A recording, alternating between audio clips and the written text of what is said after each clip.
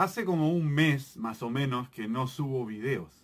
Si soy honesto con ustedes, no he estado muy motivado. Para nada. Pero ¿saben lo que me motiva siempre? Pues hablar de mi colección de películas.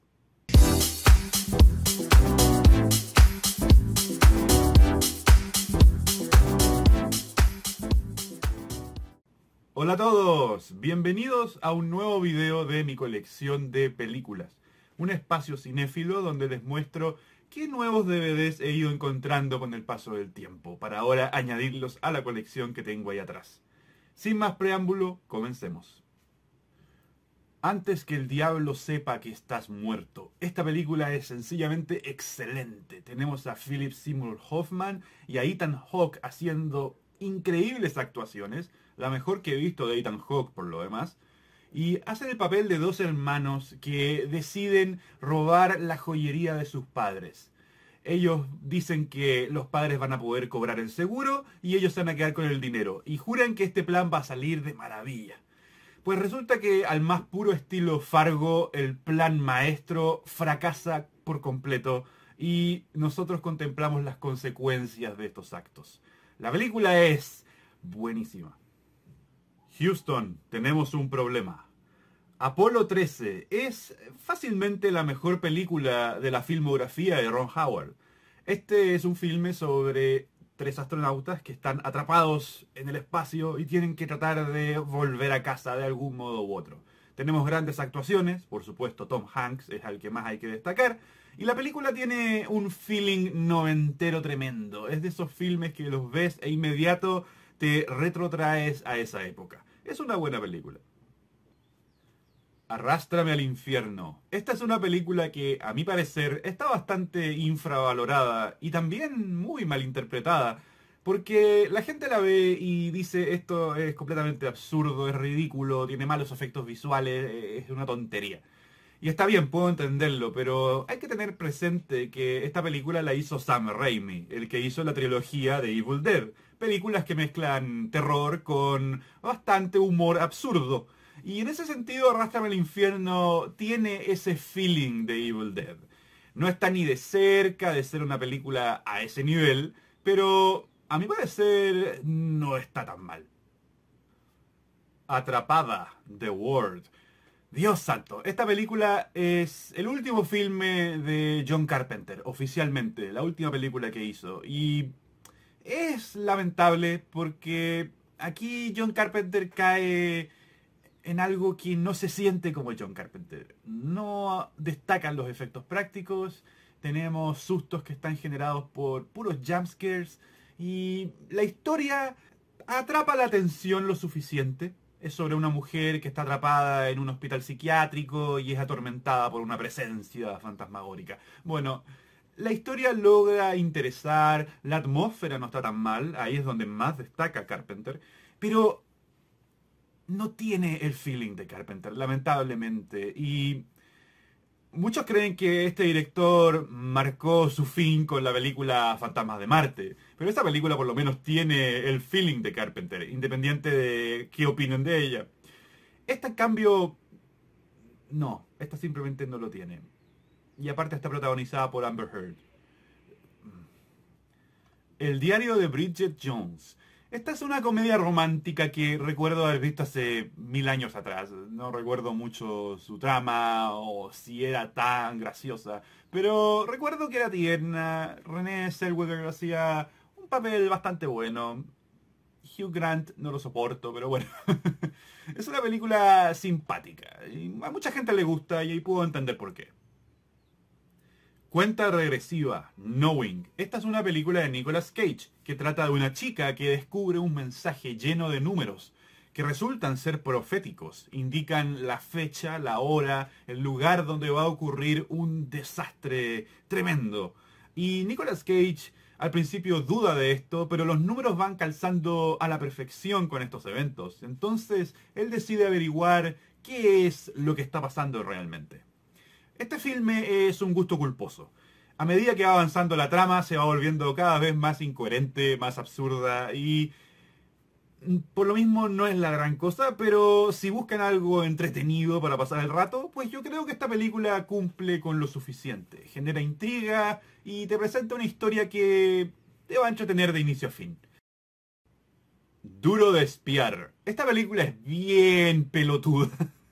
No me voy a poner aquí a defenderla como una de las grandes comedias de todos los tiempos, es lo más mínimo, pero sí voy a decir que me hace reír gracias a Leslie Nielsen. Este hombre es sencillamente increíble. Me hace reír con sus expresiones faciales, con sus frases, con el tono de su voz, la forma en que dice las cosas, la forma en que hace las cosas. Todas las estupideces que hace en pantalla. El tipo tiene un carisma tremendo, infinito, y por lo mismo él es el que saca adelante esta película y la hace sumamente graciosa y entretenida. Al menos para mí. ¿What? No. No. What? No. ¿Qué película más mala? Si me preguntan por qué tengo The Happening de M. Night Shyamalan, es porque es de esas películas que son tan, pero tan, pero tan, pero tan malas que me hacen reír.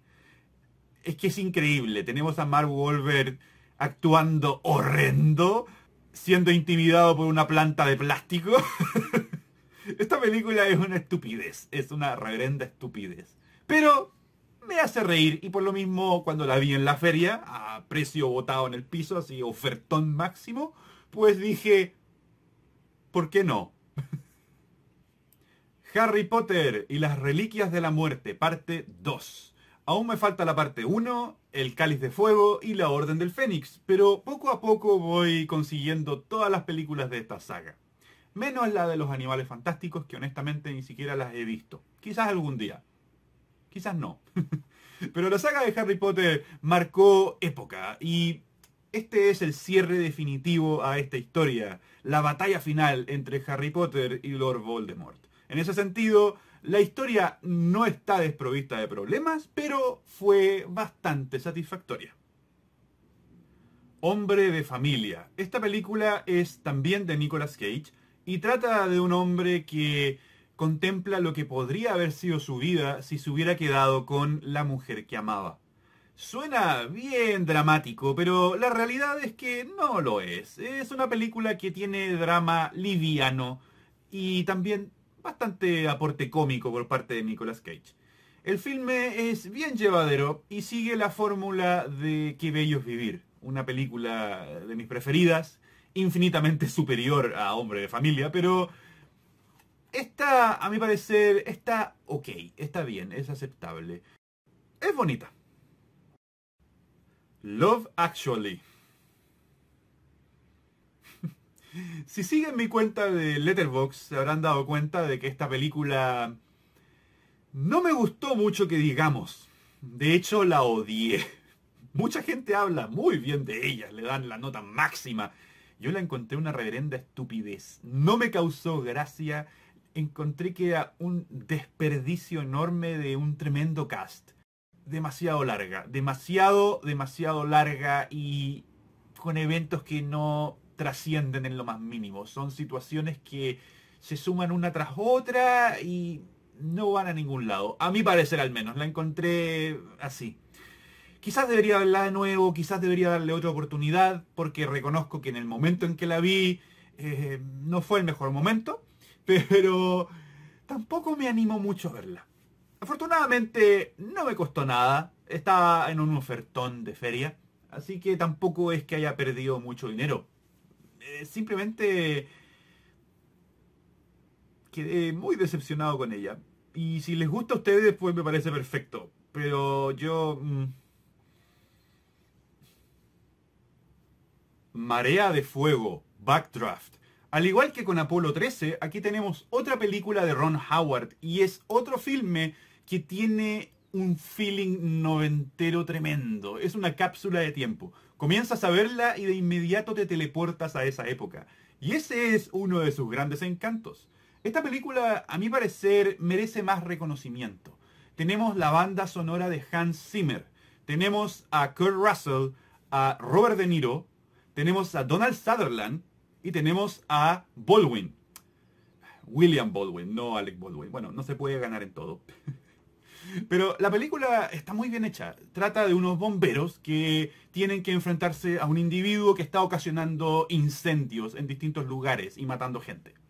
Y el incendio está muy bien representado. El fuego aquí parece una criatura viva, un monstruo que atormenta a nuestros protagonistas. Está muy bien hecho. Y por lo mismo siento que no es una película perfecta, pero merece más reconocimiento. Música en espera. Esta es una comedia argentina muy simpática que trata de un hombre que tiene que componer la banda sonora de una película y sin embargo no encuentra inspiración en ningún lado. Y está a punto de acercarse la fecha límite de entrega. El tema es que un día llama al banco y le sale una musiquita de espera antes de que lo atiendan. Y esa música eh, es una tonada muy simple, pero lo inspira a crear esa banda sonora. El tema es que justo la música se detiene y ahora no la recuerda y va a tener que buscar dentro de las miles de llamadas cuál es la música de espera de ese banco. Es simpática la película, bastante original, divertida para pasar el rato.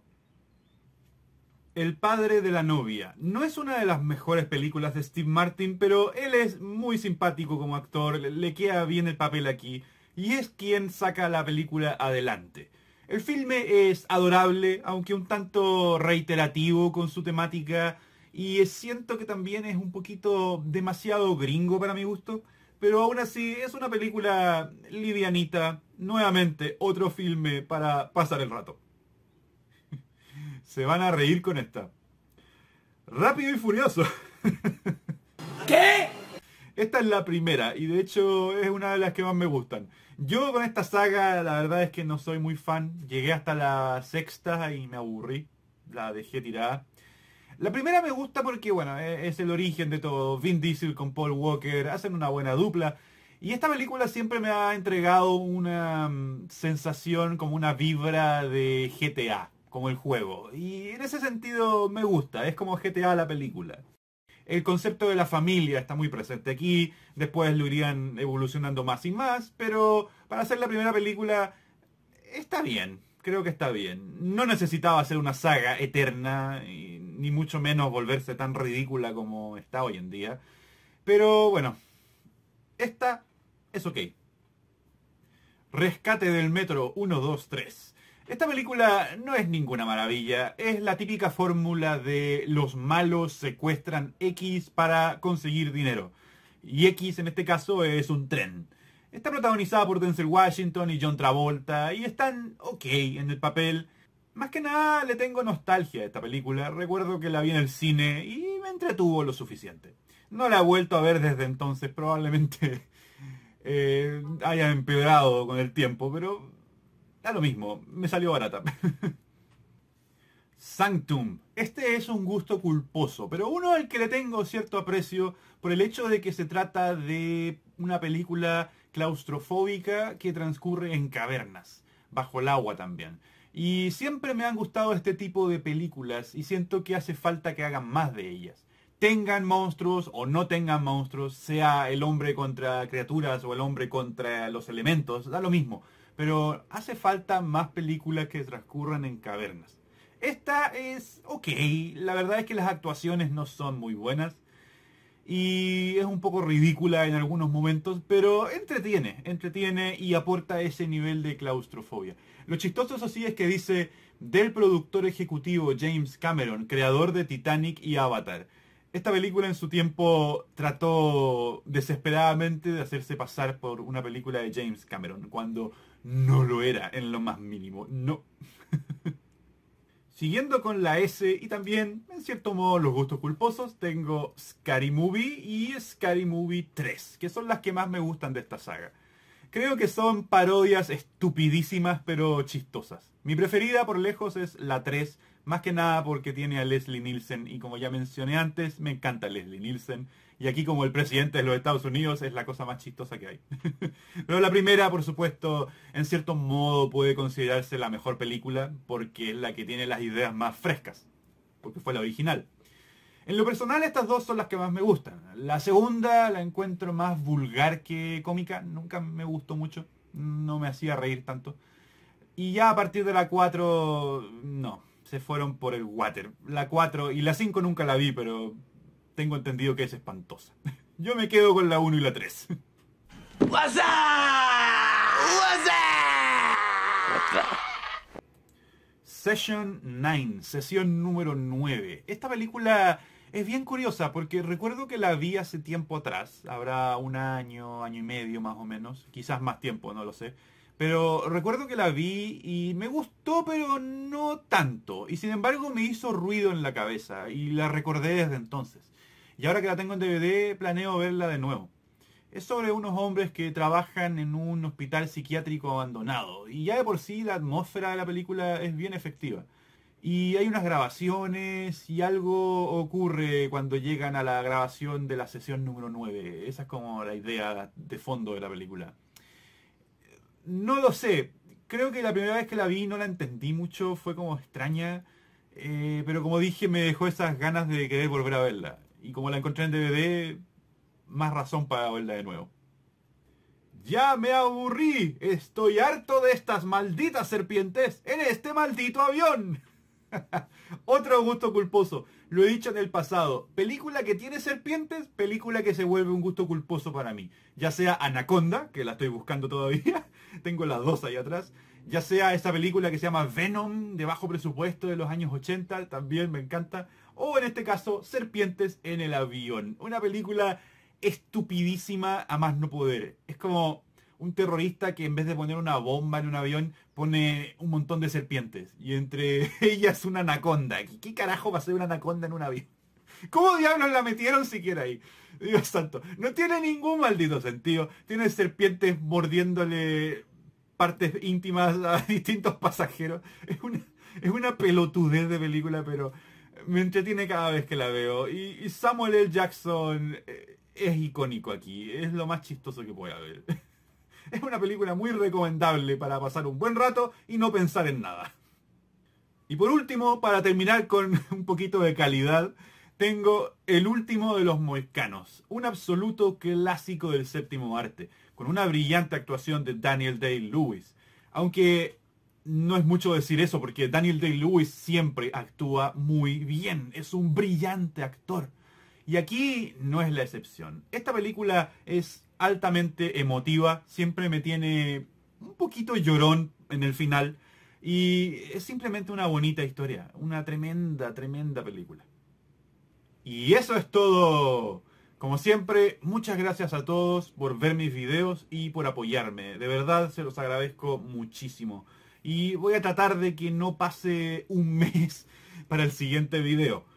Como dije, no estoy con los mayores ánimos, energías en estos momentos, pero siempre voy a tratar de continuar con el canal, seguir haciendo videos, aunque me demore. Así que bueno, eso, muchas gracias a todos. Eh, como siempre, si le dan me gusta el video, si lo comparten con otras personas, si se suscriben al canal, si es que no lo han hecho, y se activan la campanita para que les notifique cuando suba un nuevo video, pues cualquiera de esas opciones me estaría ayudando muchísimo. Como siempre, este es Fer Jackson y nos estamos viendo en el próximo video. ¡Hasta luego!